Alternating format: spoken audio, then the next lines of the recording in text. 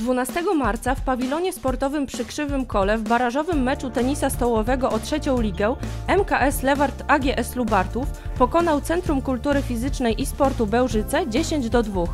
Punkty dla Lubartowa zdobyli Andrzej Pawłowski 3,5, Robert Baran 2,5, Dagmara Baranowska 2,5, Przemysław Powroźnik 1,5.